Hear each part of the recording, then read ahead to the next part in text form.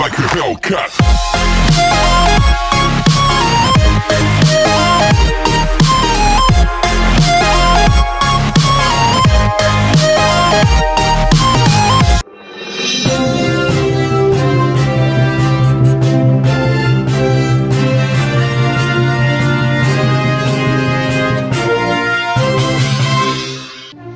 Good morning, Philippines. Good morning, world. Athletic Development Is close to joining Thai League powerhouse Muang Thong United after a strong campaign in the 2020 Philippines Football League season.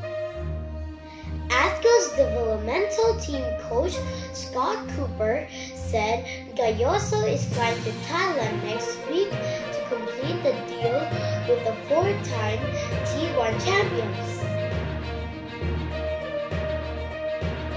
Gayoso is a former two-time UAAP MVP who powered Ateneo de Manila University to two UAAP titles.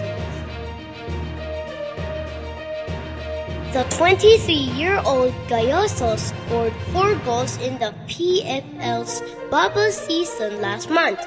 He started the season playing left wing back and also played up front.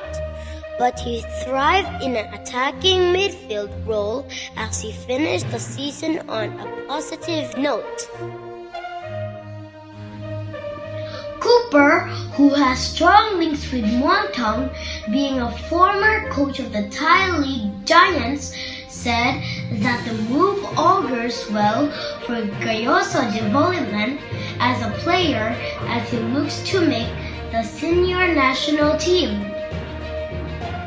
He thinks it's a great step up for him to go to Thai League. He is being picked up as a midfielder, which was where he ended up in his stint at the developmental team. He thinks that they finally found the right position for him.